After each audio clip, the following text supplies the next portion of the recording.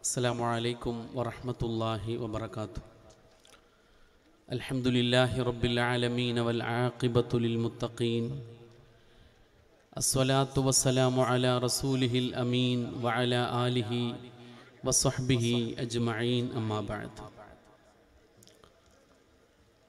ആദരണീയരായ കോഴിക്കോട് വലിയ കാളി Sayyid Nasar Abdul Hai Shihab Thangal അവർകളെ S K S S എഫിന്റെ സംസ്ഥാന അധ്യക്ഷനും നമ്മുടെ ഹൃദയ വസന്തവുമായ സയ്യിദ് ഹമീദ് അലി ഷിഹാബ് തങ്ങൾ അവർകളെ നമ്മുടെ ആവേശമായ P K Kunhalikutty Sahib M P വേദിയിലും സദസ്സിലും സന്നിഹിതരായ മറ്റു മഹത്തുക്കളെ പ്രിയപ്പെട്ട സുഹൃത്തുക്കളെ എസ് കെ എസ് എസ് എഫിന്റെയും വിക്കായുടെയും തൊലബയുടെയും ഒക്കെ കർമ്മധീരരായ സുഹൃത്തുക്കളെ. ഏതൊരു രാജ്യത്തിന്റെയും നിലനിൽപ്പിന് ഏറ്റവും അനിവാര്യമായത് സമാധാനവും സുരക്ഷയുമാണ്. സമ്പൽ സമൃദ്ധിയേക്കാൾ സുപ്രധാനമാണ് സമാധാനം. പരിശുദ്ധ ഖുർആൻ തന്നെ സൂറത്തുൽ ബക്കറയുടെ നൂറ്റി ഇരുപത്തി ആറാമത്തെ സൂക്തത്തിലൂടെ ഈ കാര്യം സൂചിപ്പിക്കുന്നുണ്ട്. ഇബ്രാഹിമു റബ്ബിജ് അൽ ഹാദ ബലദൻ ആമിന അഹ്ലഹു മിന പക്ഷേ ഒരു രാജ്യത്തിന്റെ സമാധാനത്തിന്റെ തോത് നിർണയിക്കുന്നത് അവിടെ ഭരണചക്രം തിരിക്കുന്ന അധികാരിയുടെ നെഞ്ചളവ് എത്ര ഇഞ്ചാണ് എന്ന കണക്കെടുത്തുകൊണ്ടല്ല. തണുപ്പുകാലത്ത് ആ രാജ്യത്തെ ആടുകളെയും പശുക്കളെയും പുതപ്പിക്കുന്ന കോട്ടിന്റെ കട്ടി നോക്കിയല്ല രാജ്യത്തെ സമാധാനത്തിന്റെ തോത് നിർണയിക്കപ്പെടുന്നത്. നേരെ മറിച്ച് അവിടെ ജീവിക്കുന്ന മുഴുവൻ മനുഷ്യർക്കും ജനവിഭാഗങ്ങൾക്കും തങ്ങളുടെ അവസ്ഥയിൽ സന്തോഷത്തോടെ സംതൃപ്തിയോടുകൂടെ ജീവിക്കാൻ കഴിയുമ്പോഴാണ് അവിടം സമാധാനമുള്ള രാജ്യമാണ് എന്ന് പറയാനാവുക. ഐ ഇ പി എന്ന് പറയുന്ന ഒരു ആഗോള പ്രസ്ഥാനമുണ്ട്. Institute for economics and peace.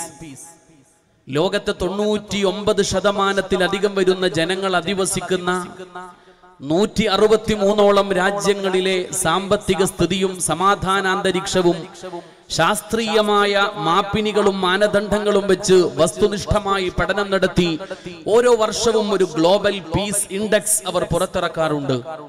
അത് ആ പട്ടിക പഠിച്ചാൽ ലോകത്തെവിടെയാണ് മനുഷ്യർ ഏറ്റവും സമാധാനത്തോടുകൂടെ ജീവിക്കുന്നതെന്ന് എന്നും എവിടെയാണ് നിരന്തരമായി സംഘർഷങ്ങൾ നടക്കുകയും തീരെ സ്വസ്ഥതയില്ലാതെ ആളുകൾ ജീവിക്കുകയും ചെയ്യുന്നതെന്ന് നമുക്ക് എളുപ്പത്തിൽ മനസ്സിലാകും. കൊറോണ വൈറസ് താരമായി തിളങ്ങിയ കഴിഞ്ഞ ഈ രണ്ടായിരത്തി ഇരുപതിൽ institute for economics and peace പുറത്തിറക്കിയ ഈ ആഗോള സമാധാന സൂചികയിൽ ആ പട്ടികയിൽ ലോകത്തെ ഏറ്റവും സമാധാനമുള്ള രാജ്യങ്ങൾ ആദ്യത്തെ പത്തിൽ വന്നത് ഐസ്ലാൻഡും ന്യൂസിലാൻഡും പോർച്ചുഗലും ഓസ്ട്രിയയും ഡെൻമാർക്കും കാനഡയും സിംഗപ്പൂരും ചെക്ക് റിപ്പബ്ലിക്കും ജപ്പാനും സ്വിറ്റ്സർലാൻഡും ഒക്കെയാണ്. എന്ന് പറഞ്ഞാൽ സമാധാനമുള്ള ആദ്യത്തെ പത്തു രാജ്യങ്ങളിൽ നമ്മുടെ മഹത്തായ ഇന്ത്യ ഇല്ല. ആദ്യത്തെ പത്തിലില്ല എന്ന് മാത്രമല്ല അവർക്ക് പത്തു ശതമാനം സംവരണം ഏർപ്പെടുത്തിക്കൊണ്ടുള്ള സർക്കാരിന്റെ നടപടി. മുസ്ലിങ്ങൾ അടക്കമുള്ള ന്യൂനപക്ഷങ്ങളെ ഏറെ ആശങ്കാകുലരാക്കിയിരിക്കുന്നു എന്നുള്ളത് ഒരു വസ്തുതയാണ്. ഈ ന്യായമായ ആശങ്ക ആദ്യം നമ്മുടെ നേതാക്കൾ സംസ്ഥാനം ഭരിക്കുന്ന മുഖ്യമന്ത്രിയുടെ മുമ്പിൽ ആദ്യം അവതരിപ്പിച്ചപ്പോൾ വളരെ ലാഘവ മനോഭാവത്തോടുകൂടെയാണ് അദ്ദേഹം അതിനോട് പ്രതികരിച്ചത്. അന്ന് ഏറ്റവും ഗുരുതരമായ ഈ വിഷയത്തെ അങ്ങേയറ്റം നിസ്സാരവൽക്കരിച്ചുകൊണ്ട് നമ്മുടെ നേതാക്കളുടെ മുഖത്ത് നോക്കി അദ്ദേഹം പറഞ്ഞു നിങ്ങൾ വെറുതെ കുറെ തെറ്റിദ്ധാരണകളുമായി വന്നിരിക്കുകയാണ്. അനാവശ്യമായ പേടിയും പേറി വന്നിരിക്കുകയാണ്. ഇവിടെ ഈ സാമ്പത്തിക സംവരണം നടപ്പിൽ വരുത്തുക വഴി ന്യൂനപക്ഷങ്ങളുടെ അവകാശാധികാരങ്ങൾക്ക് യാതൊരു വിധത്തിലുള്ള പോറലും സംഭവിക്കാൻ പോകുന്നില്ല. അങ്ങനെയാണ് അന്ന് അദ്ദേഹം പറഞ്ഞത്. പക്ഷേ ആ പറഞ്ഞതത്രയും പച്ചക്കള്ളമാണെന്ന് സത്യവും കൃത്യവും വ്യക്തവും യുക്തവുമായ കാരണങ്ങളും കണക്കുകളും നിരത്തിവെച്ച് മാധ്യമങ്ങളിലൂടെ നമ്മുടെ ബഹുമാന്യരായ നേതാക്കന്മാർ വിശദീകരിക്കുകയുണ്ടായി. രണ്ടു കാര്യങ്ങൾ കൊണ്ട് ഈ വിഷയത്തിൽ നമ്മൾ ഏറെ ആശങ്കാകുലരാണ്. ഒന്ന് നമ്മുടെ മഹാരഥന്മാരായ രാഷ്ട്രശില്പികൾ ഇന്ത്യയുടെ ഭരണഘടനയിൽ എഴുതി വെച്ച സംവരണം എന്ന മഹത്തായ തത്വത്തിന്റെ അടിസ്ഥാന തത്വങ്ങൾക്ക് ഘടകവിരുദ്ധമാണ് ഇപ്പോൾ ഏർപ്പെടുത്തിയിരിക്കുന്ന ഈ സാമ്പത്തിക സംവരണം. ഇന്ത്യൻ ഭരണഘടനയുടെ താരതമ്യേന തുടക്ക ഭാഗത്ത് തന്നെ ഈ കാര്യങ്ങൾ ഉൾപ്പെടുത്തിയിട്ടുണ്ട്. ആർട്ടിക്കിൾ പന്ത്രണ്ട് മുതൽ മുപ്പത്തിയഞ്ച് വരെയുള്ള ഭാഗങ്ങളിൽ ഇന്ത്യയിലെ ഒരു പൗരൻ അടിസ്ഥാനപരമായി അനുഭവിക്കേണ്ട അവകാശങ്ങളെ കുറിച്ച് ആറ് മൗലികമായ അവകാശങ്ങളെ കുറിച്ച് ഫണ്ടമെന്റൽ റൈറ്റ്സിനെ കുറിച്ച് പറയുന്നുണ്ട്. അവിടെ ആദ്യം വരുന്നത് റൈറ്റ് ടു ഇക്വാലിറ്റി ആണ് സമത്വത്തിനു വേണ്ടിയുള്ള അവകാശം. ആർട്ടിക്കിൾ പതിനാല് മുതൽ പതിനെട്ട് വരെയുള്ള ഭാഗങ്ങളിൽ ചർച്ച ചെയ്യുന്നത് സമത്വത്തിനു വേണ്ടിയുള്ള അവകാശത്തെ കുറിച്ചാണ് അവിടെ prohibition of discrimination on grounds of religion, race, caste, sex or place of birth. ജാതിയുടെയും മതത്തിന്റെയും വർഗത്തിന്റെയും അടിസ്ഥാനത്തിൽ പൗരന്മാർക്കിടയിൽ യാതൊരു തരത്തിലുള്ള വിവേചനവും വ്യത്യാസവും കാണിക്കാൻ പാടില്ല എന്ന് പറയുന്ന ആർട്ടിക്കിൾ പതിനഞ്ചിന്റെ നാലാം ഭാഗത്ത് പ്രത്യേകമായി പറഞ്ഞു special provision for the advancement of any socially and educationally backward classes of citizens ചരിത്രപരമായ കാരണങ്ങളാൽ സാമൂഹികവും വിദ്യാഭ്യാസപരവുമായി പിന്നോക്കം നിൽക്കുന്ന ആളുകളെ രാജ്യത്തിന്റെ പൊതുധാരയിലേക്ക് ഉയർത്തിക്കൊണ്ടുവരാൻ ആവശ്യമായ പ്രത്യേകമായ നടപടികൾ സംവരണമടക്കമുള്ള നടപടികൾ നടപ്പിലാക്കണമെന്ന് തൊട്ടടുത്ത ആർട്ടിക്കിൾ പതിനാറാം article right to equality of opportunities in public employment government ഉദ്യോഗങ്ങളിൽ അവസര സമത്വത്തിനു വേണ്ടിയുള്ള അവകാശങ്ങളെ കുറിച്ച് സംസാരിക്കുന്ന പതിനാറാം ആർട്ടിക്കിളിന്റെ നാലാം ഭാഗത്ത് വീണ്ടും പറഞ്ഞു it provides for the reservation of services under the state in favour of backward class of citizens പിന്നാക്ക ജനവിഭാഗങ്ങളെ രാജ്യത്തിന്റെ പൊതുധാരയിലേക്ക് ഉയർത്തിക്കൊണ്ടുവരാൻ ആവശ്യമായ രൂപത്തിൽ ഉദ്യോഗ മേഖലയിൽ അവർക്ക് സംവരണം ഏർപ്പെടുത്തണമെന്ന് ഭരണഘടനയിൽ വ്യക്തമായി പറഞ്ഞു. ഭരണഘടനയുടെ ഈ ഭാഗങ്ങൾ വായിക്കുന്ന ഏതൊരു മനുഷ്യനും മനസ്സിലാകും എന്താണ് സംവരണം എന്തിനാണ് സംവരണം. ചരിത്രപരമായ കാരണങ്ങളാൽ സാമൂഹികമായും വിദ്യാഭ്യാസപരമായും പിന്നാക്കം നിൽക്കുന്ന സമൂഹങ്ങളെ അവർക്ക് ഉയർന്ന വിദ്യാഭ്യാസം കൊടുത്ത് ഉന്നതമായ ഉദ്യോഗങ്ങൾ കൊടുത്ത് രാജ്യത്തിന്റെ ഭരണത്തിൽ പങ്കാളികളാക്കി. രാജ്യത്തിന്റെ പൊതുധാരയിലേക്ക് അവരെ ഉയർത്തിക്കൊണ്ടുവരാനുള്ള ഭരണഘടനാപരമായ സംവിധാനത്തിന്റെ പേരാണ് സംവരണം എന്ന് പറയുന്നത്. അതല്ലാതെ ഇന്ന് പലരും പ്രചരിപ്പിക്കുന്നത് പോലെ അതൊരു ദാരിദ്ര്യ നിർമാർജന പ്രക്രിയയല്ല അതൊരു ക്ഷേമ പദ്ധതിയല്ല അതൊരു ജീവകാരുണ്യ പ്രവർത്തനമല്ല. ശാരീരികമായി അവശത അനുഭവിക്കുന്ന ആളുകൾ സാമ്പത്തികമായി പരാധീനതകൾ പേറുന്നവർ പ്രകൃതി ദുരന്തത്തിലോ മറ്റോ അകപ്പെട്ട് ജീവിതം തന്നെ വഴിയാധാരമായി പോയ ആളുകൾ അവർക്ക് സാമ്പത്തികമായ പാക്കേജുകൾ ഗവൺമെന്റ് പ്രഖ്യാപിക്കുന്നതിൽ നമുക്ക് യാതൊരു വിരോധവുമില്ല.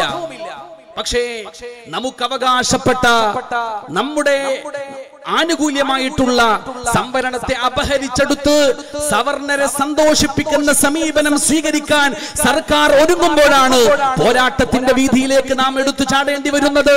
എന്റെ പ്രിയപ്പെട്ടവരെ മുസ്ലിങ്ങളായ നമ്മെ സംബന്ധിച്ചിടത്തോളം നമ്മുടെ മുമ്പിലുള്ള വഴി വളരെ വ്യക്തമാണ്. ഇന്ത്യയുടെ മുൻ രാഷ്ട്രപതി ഡോക്ടർ സക്കീർ ഹുസൈൻ ഒരു കാര്യം പറഞ്ഞു. ഇന്ത്യയുടെ സ്വാതന്ത്ര്യത്തിന് വേണ്ടി പിറന്ന നാടിന്റെ മോചനത്തിന് വേണ്ടി മുസ്ലിം സമൂഹം എത്ര വീര്യത്തോടുകൂടെ പോരാടിയിട്ടുണ്ടോ? അതേ വീര്യത്തോടുകൂടെ ഇനിയുള്ള കാലത്ത് വിദ്യാഭ്യാസ മേഖലയിൽ ഉയർന്നു വരാൻ ഉദ്യോഗ രംഗത്ത് ഉന്നതങ്ങളിലെത്താൻ അതിനുവേണ്ടിയാണ് ഇന്ത്യയിലെ മുസ്ലിമുകൾ പരിശ്രമിക്കേണ്ടത്. അത് നമുക്ക് വഴി കാണിക്കുന്ന ഒരു വാക്കാണ്. അത് നമ്മുടെ മാർഗദർശകമായ ഒരു വാക്കാണ്.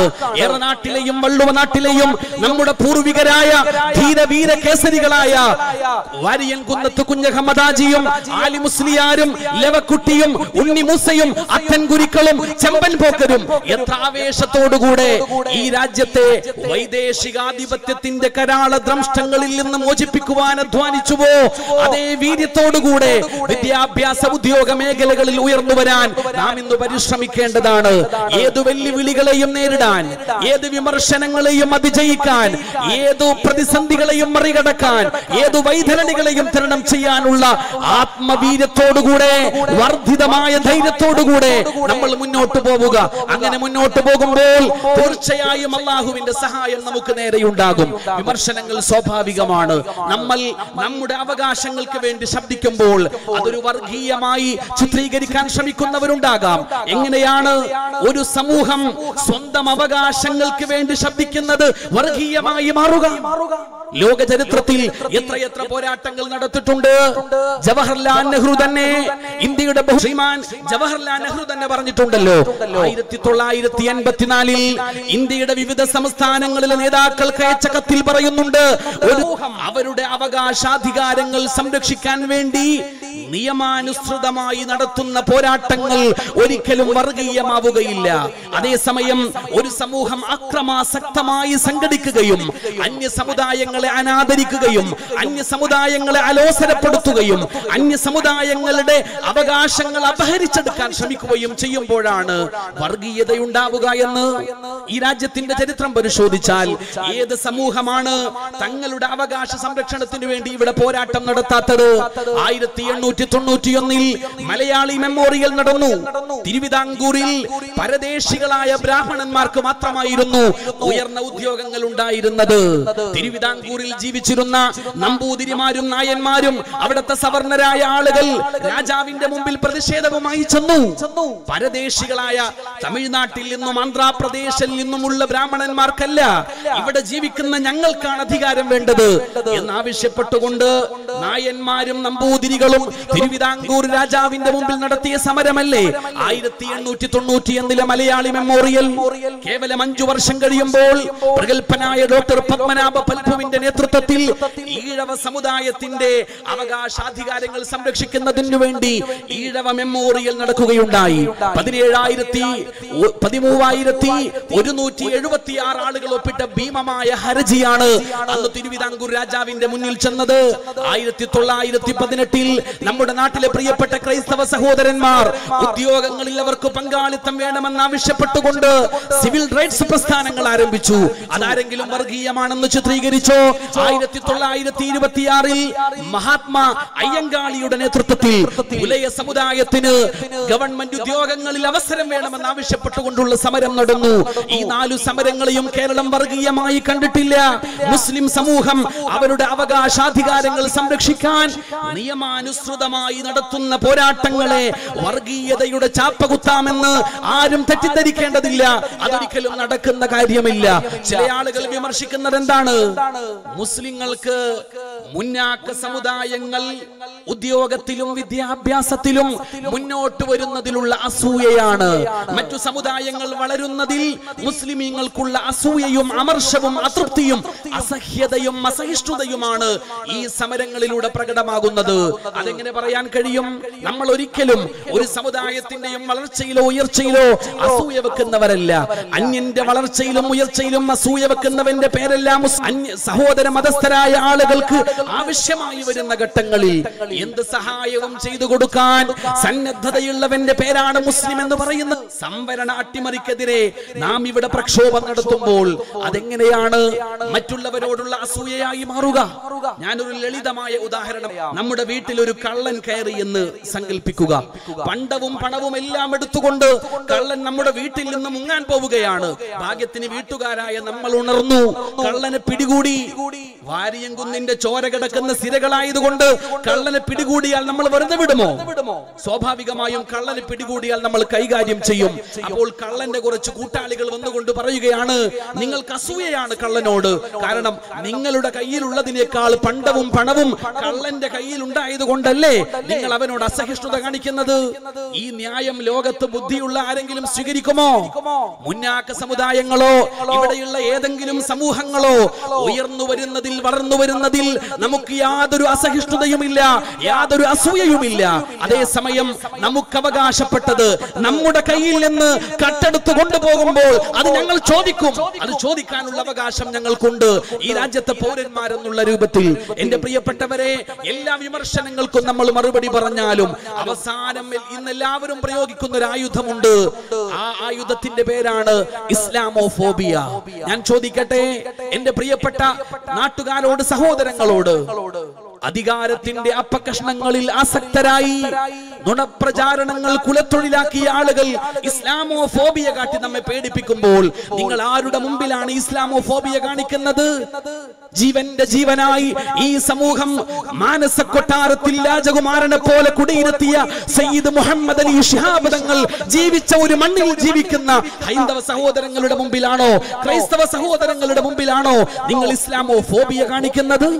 സാഹിത്യ പൂങ്കവന്മാർ ഭാരത സംസ്കാരത്തിന്റെ മതേതര സംസ്കാരത്തിന്റെ സംസം എന്ന് വാഴ്ത്തി പറഞ്ഞ സയ്യിദ് മുഹമ്മദ് അലി ശിഹാബ് തങ്ങൾ അപരന്റെ ദുഃഖത്തിൽ അലിയുന്ന ഹൃദയവും അനുപമ സ്നേഹം വഴിയും മിഴികളും ജാതി ഏതാകിലും മാലഴും മർത്യനെ ജാതകാരുണ്യം തഴുകിത്തലോടുന്ന ദീർഘബാഹുക്കളും സുന്ദരാ സുസ്മിത വദനവും ചേർന്നൊത്ത പുരുഷാകാരമേ. സാത്വിക ശ്രേഷ്ഠർ തർവംശീയ വല്ലിയിൽ പൂത്ത പൂവേ വാഴ്ക നീളാൽ ഭവാൻ. പാണക്കാടു തറാവാടിൻ പുണ്യമേ ഭാരത നാടിൻ മതേതര സംസ്കാര സംസമേ. ഇന്ത്യൻ മതേതരത്വത്തിന്റെ മതേതര സംസ്കാരത്തിന്റെ സംസമായി സാഹിത്യ പുങ്കവന്മാർ പാടിപ്പുകഴ്ത്തിയ സയ്യിദ് മുഹമ്മദ് അലി ശിഹാബ് തങ്ങളെ പോലെ നൂറുകണക്കിന് മനുഷ്യ സ്നേഹികളായ മുസ്ലിം ആത്മീയ നേതാക്കൾ ജീവിച്ചൊരു മണ്ണിൽ വന്നുകൊണ്ട് ഇസ്ലാമോഫോബിയ പറയുന്നു നിങ്ങൾ ലജ്ജയില്ലേ? നിങ്ങൾക്ക് നിങ്ങൾക്കറിയുമോ? ഈ രാജ്യത്തെ ഹൈന്ദവ സഹോദരങ്ങളെ മലബാറിൽ ജീവിക്കുന്ന കേരളത്തിൽ ജീവിക്കുന്ന ഹൈന്ദവ സുഹൃത്തുക്കളെ മഹാനായ ഷെയ്ഖുനൽ മർഹൂം അത്തിപ്പറ്റ ഉസ്താദിനെ വറല്ലാഹു മർക്കദ. അത്തിപ്പറ്റയിലെ കൊച്ചുകൂരയിൽ അവിടന്ന് വിളമ്പിയ ആ ഒറ്റ തളികയുടെ മുന്നിൽ മഹാനായ അത്തിപ്പറ്റ ഉസ്താദിന്റെ ഇടത്തും വലത്തും ഇരുന്നു കൊണ്ട് ചോറ് തിന്നവരാണ് ഈ രാജ്യത്തെ ഹൈന്ദവ സഹോദരങ്ങൾ. അവരോടാണോ നിങ്ങൾ ഇസ്ലാമോ ഫോബിയ പറയാൻ ശ്രമിക്കുന്നത്? ഒരിക്കലും ഇത് നടക്കുന്ന കാര്യമില്ല. മഹാനായ ഷെയ്ഖുന ഷംസുൽ ഉലമാ ഖദ്ദസല്ലാഹു സിർറഹുൽ അസീസിനെ പോലെ മൗലാന മർഹൂം പാങ്ങിൽ അഹമ്മദ് കുട്ടി മുസ്ലിയാരെ പോലെ ഇന്ന് നമ്മെ നയിച്ചുകൊണ്ടിരിക്കുന്ന നിലപാടിന്റെ നായകൻ മുഖം നോക്കാതെ മതം പറയുന്ന നമ്മുടെ സിരകളിലെ ആവേശമായ സയ്യിദ് മുഹമ്മദ് ജിഫ്രി മുത്തുക്കോയ തങ്ങളടക്കമുള്ളവർ ഈ സമുദായത്തെ പഠിപ്പിക്കുന്നത്. ഒരു ഭാഗത്ത് സുന്നത്ത് ജമാഅത്തിന് വേണ്ടി ശബ്ദിക്കുമ്പോൾ സമുദായത്തിന്റെ അവകാശാധികാരങ്ങൾക്ക് വേണ്ടി സിംഹഗർജനങ്ങൾ മുടക്കുമ്പോൾ അതേ നാവ് കൊണ്ട് രാജ്യസ്നേഹവും മതമൈത്രിയും മനുഷ്യ സൗഹൃദവും കണ്ണിലെ കൃഷ്ണമണികളെ പോലെ കാത്തു സൂക്ഷിക്കണമെന്ന് പഠിപ്പിച്ച നേതാക്കന്മാരാണ് നമ്മുടെ നേതാക്കന്മാർ. എന്റെ പ്രിയപ്പെട്ട സഹോദരങ്ങളോട് ഈ വൈകിയ വേളയിൽ എനിക്കൊന്നേ പറയാനുള്ളൂ. നമുക്കിവിടെ ബഹുമാനപ്പെട്ട സമസ്ത കേരള വൽ ജമാഅത്തിന്റെ ആശയാദർശങ്ങൾ നൂറ് ശതമാനം മുറുകെ പിടിച്ചുകൊണ്ട് ആത്മാഭിമാനത്തോടുകൂടെ ജീവിക്കാൻ ഈ സമൂഹത്തെ പര്യാപ്തമാക്കിയ ബഹുമാനപ്പെട്ട സമസ്ത കേരള ജമയത്തുലുലമ ആധുനികവും ആത്മീയവുമായ വിദ്യാഭ്യാസം നൽകി ദുനിയാവും ആഹ്റവും വിജയിക്കാനുള്ള വഴികൾ പറഞ്ഞു തരുന്ന മഹത്തായ സമസ്ത കേരള ജമയത്തുലുലമ. സമുദായത്തിന്റെ അവകാശാധികാരങ്ങൾക്ക് വേണ്ടി ശബ്ദിക്കുന്ന സ്നേഹവും മത സൗഹാർദ്ദവും മുറുകെ പിടിക്കണമെന്ന് നമ്മോട് ആഹ്വാനം ചെയ്യുന്ന സമസ്ത കേരള ജമയ്യത്തുലുലമ ആ മഹിതമായ സമസ്തയുടെ പിന്നിൽ മഹാന്മാരായ പാണക്കാട് സദാ തിങ്കൾ പിടിച്ച പതാക ഏന്തിക്കൊണ്ട് പാറ പോലെ നമ്മൾ ഉറച്ചു നിൽക്കുക. തീർച്ചയായും വിദ്യാഭ്യാസ മേഖലയിൽ ഉദ്യോഗ മേഖലയിൽ ജീവിതത്തിന്റെ സർവ മേഖലകളിലും ഔന്നിത്യം നമ്മെ തേടിയെത്തും. വിജയത്തിന്റെ ഉത്തുംഗ ശൃംഗത്തിലേക്ക് നമുക്ക് ഒരുമിച്ച് മുന്നേറാം. നാഥൻ അനുഗ്രഹിക്കട്ടെ എന്ന വിനീതമായ പ്രാർത്ഥനയോടുകൂടെ ദുആവസിയത്തോടുകൂടെ എന്റെ വിനീതമായ വാക്കുകൾ എളിയ വാക്കുകൾ ഇവിടെ അവസാനിപ്പിക്കുന്നു. അസ്സലാമു അലൈക്കും വറഹ്മത്തുള്ളാഹി